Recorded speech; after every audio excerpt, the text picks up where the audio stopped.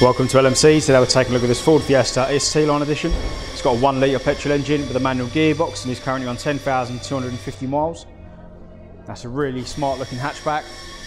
Got this nice dark blue colour with gunmetal grey alloy wheels, nice ST line wheels, de-chromed window trims, ST line badges on the arches, and then you've got LED daytime running lights and a blacked out front end blacked out fog light surrounds and grille. And then coming around the side, you've got tinted side and rear glass with this nice big lip spoiler on the top of the boot lid. These nice horseshoe shaped LED rear lights, as well as rear parking sensors and this all blacked out diffuser at the bottom of the bumper. Now despite it being a hatchback, you get a nice big boot You've got fixing points on either side. And then in terms of interior, a nice amount of legroom, nice big cloth seats with red stitching.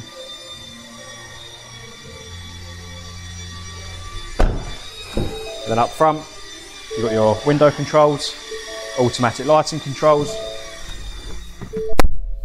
You get a push to start system, which brings up this nice clear instrument cluster nice and bright with steering wheel controls on either side. And in the centre you have maps and navigation Bluetooth connectivity radio as well as app synchronization as well. And putting the car into reverse it brings up the rear parking sensors.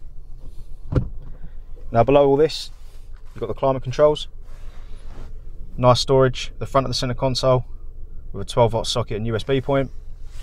And then behind this, two big cup holders with some ambient lighting inside and a nice leather armrest with storage underneath as well. So if you'd like any more information, please visit our website. Thank you very much for watching.